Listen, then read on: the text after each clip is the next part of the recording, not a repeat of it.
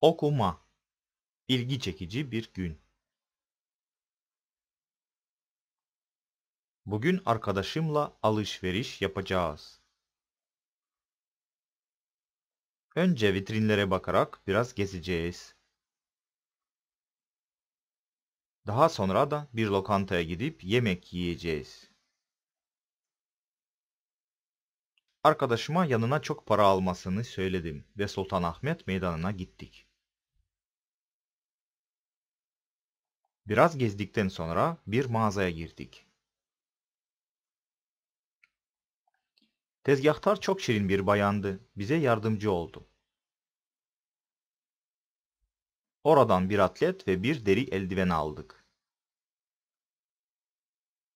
Tezgahtar birer tane de gömlek alırsak %50 indirim yapacaklarını söyledi.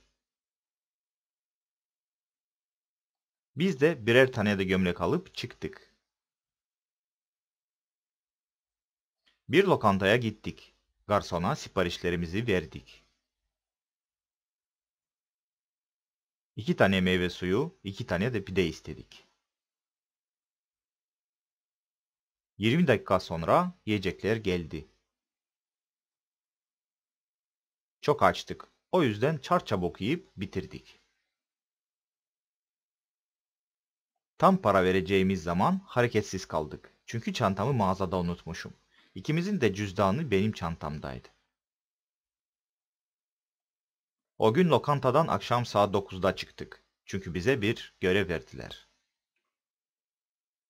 Ne mi yaptık? Bulaşık yıkadık. Sorular. Hikayede bahsi geçen arkadaşlar. Birinci soru. Mağazada ne aldılar? İkinci soru. Lokantada ne yediler? Üçüncü soru. Evlerine kaçta geldiler? Lütfen cevaplarınızı yorum kısmına yazınız.